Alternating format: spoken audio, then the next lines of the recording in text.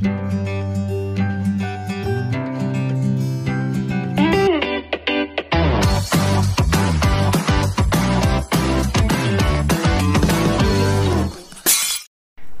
teman-teman, sudah tahu bedanya tabungan BRI Britama dengan tabungan BRI Simpedes? Kan ada dua tuh apabila kita membuat rekening. Ada tabungan BRI Britama dan tabungan BRI Simpedes. Untuk buka rekening, Anda bisa online, tapi di situ kan ada banyak pilihannya yaitu tabungannya. Yang pertama kita cek untuk tabungan Britamanya.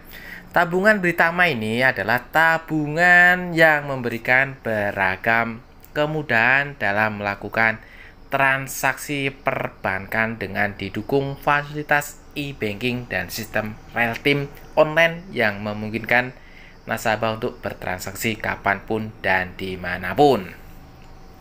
Keuntungan membuat tabungan BRI Britama aksesibilitas kartu ATM, debit BRI jaringan BRI, ATM bersama, Link, Prima, Cirrus, Maestro, dan Mastercard baik di dalam maupun di luar negeri.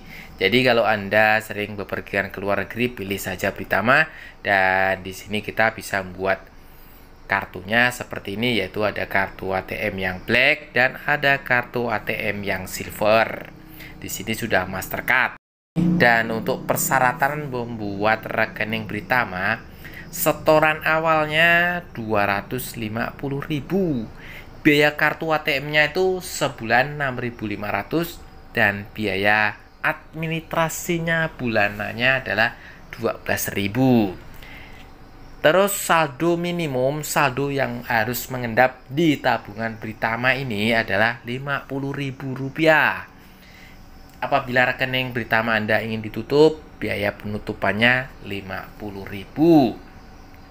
Untuk limit transaksinya, tarik tunai dengan menggunakan kartu ATM di mesin ATM tuh, Anda bisa mengambil sebesar 10 juta. Wow, banyak juga ya.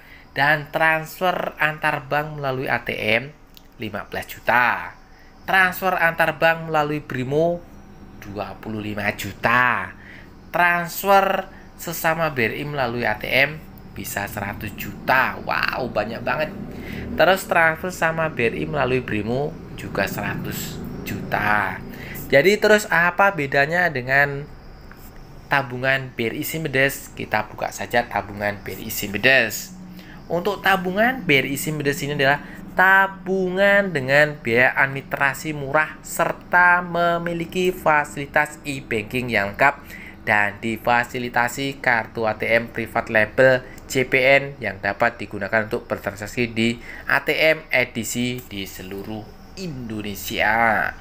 Jadi, apabila Anda membuat rekening, ada beberapa pilihan. Bisa Anda pilih Britama, bisa Anda pilih Simpedes. Untuk Simpedes ini, bunga kompetitifnya adalah suku bunga tabungan kompetitif Pembukaan rekening dilengkapi dengan sertifikat elektronik yang diterbitkan oleh Certification Authorities yang bekerja sama dengan BRI. Untuk persyaratan membuat rekening SIMDES ini adalah dengan setoran awal cukup Rp50.000.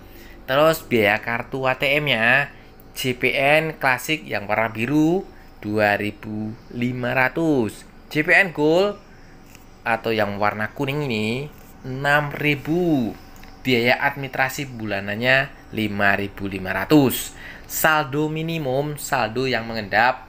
Misalkan Anda memiliki saldo 100.000 Anda bisa mengambil 75.000 tapi kan tidak ada uang 25.000 yaitu saldo minimumnya 25.000 biaya penutupan rekening apabila rekeningnya ingin ditutup biayanya 25.000 terus limit transaksinya tarik tunai dengan kartu ATM atau kartu debit bisa 20 juta. Wow, banyak banget. Transfer antar bank melalui ATM 15 juta. Transfer antar bank melalui Brimo 25 juta. Ternyata sama ya dengan yang Britama tadi. Terus transfer sesama BRI melalui ATM 100 juta. Transfer sesama BRI melalui Brimo 100 juta juga. Nah, di sini Anda bisa menentukan pilihan membuat rekening Bank BRI, Britama ataupun Cibdes setelah mengetahui perbedaan atau fasilitas seperti ini. Untuk rekening tabungan Britama dan tabungan Simbedes ini sama-sama difasilitasi internet banking, mobil banking Bank BRI. Jadi kita bisa membuat atau mendaftarkan Brimo. Jadi yang bisa transaksi dari handphone itu Misalkan Anda tidak mau ke bank, tidak mau antri, bisa transaksi dari handphone seperti cek saldo, transfer uang, beli pulsa, beli listrik tanpa harus datang ke kantor dari handphone. Jadi jangan khawatir apabila Anda ingin membuat rekening terus Anda bingung memilih produknya kan ada dua produk tabungan Britama dan tabungan Simdes. Dua-duanya tetap sama bisa didaftarkan internet banking Primo yang bisa untuk bertransaksi dari handphone seperti memiliki mesin ATM di handphone Anda. Anda tinggal menentukan mana sesuaikan kebutuhan Anda untuk membuat rekening, pilih Britama atau pilih Sibedes dengan kriteria seperti tadi. Mudah-mudahan info kali ini bermanfaat, menambah wawasan Anda semuanya untuk mendukung channel ini semakin berkembang. Silahkan Anda tombol like, subscribe, serta loncengnya. Thank you, thank you, terima kasih. Sampai jumpa di video selanjutnya. Wassalamualaikum warahmatullahi wabarakatuh.